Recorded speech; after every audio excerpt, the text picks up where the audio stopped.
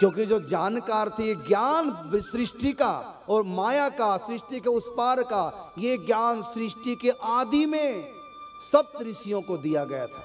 उसमें मरीची, अत्रि, अंगिरा, पुलस्त, पुलहा क्रतु, भृगु, वशिष्ठ नारद जी दक्ष आदि, ये सब प्रजापति करदमा जी, इन सबको, इन सबने तपस्या की, इनको परमात्मा ने दिव्य ज्ञान दिया, तब मानव की सृष्टि प्रारंभ हुई।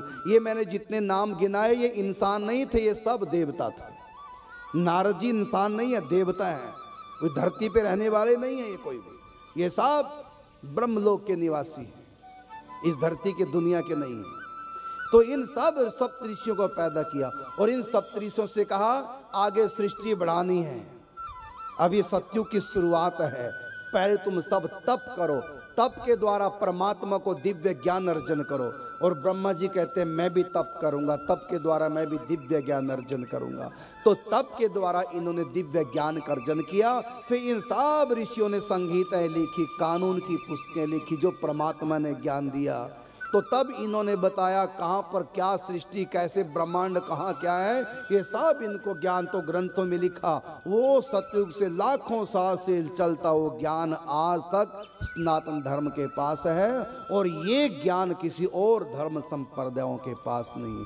क्योंकि और, ये नहीं कि वो गलत संप्रदाय, ऐसा नहीं है। सब महापुरुषों की देन है, धर्म संप्रदाय गलत नहीं है, लेकिन वहाँ पर पूरी जानकारी नहीं है। हाँ भगवत प्राप्ति की, अपने कल्याण की जानकारी रख दी कि ये साधन करो, कल्याण हो जाएगा। तो कल्याण करने का साधन तो हर धर्म संप्रदाय में है, लेकिन पूरी सृष्टि के बारे में ज्ञान हर ग्रंथ में नहीं मिलेगा, हर संप्रदाय धर्म में नहीं, वो केवल स्नातन धर्म में है। ग्रहों की स्थिति, सूर्य की स्थिति, ये सब ब्रह्मांडों का ज्ञान भागवत आदि हमारे सत्रह पुराण आप उठा के अठारह पुराण पढ़ो, इनमें पूरे ब्रह्मांडों का और किसी भी धर्म ग्रंथ में और किसी भी धर्म शास्त्र में ये पूरे ब्रह्मांडों का सत्युग से आज तक का ज्ञान नहीं है। तो इसमें दस प्रकरण हैं। तो मुझको कहा था कि पितरों के बारे में आज कुछ बताना, आपको बताया पितरों का लोक कौन पितर बनते हैं? कब तक पितरलोक में रहते हैं? कैसे उनके पास श्राद्ध पहुँचता है? उनका जन्म कब होता है? ये सब मैंने आज आपको बताया। ये सब शास्त्र में लिखा हुआ है। ये कोई मैं कल्पना से नहीं बता रहा हूँ। यदि आपको प्रमाण चाहिए लिखित रूप में तो मैं दे सकता हूँ। एक कर्म रहस्य नाम का ग्रंथ आप उसको पढ़िए। एक एक चीज़ का आपको ज्ञान मिलेगा, प्राप्त होगा। अब आगे बढ़ते हैं आपके प्रश्न का उत्तर दिया।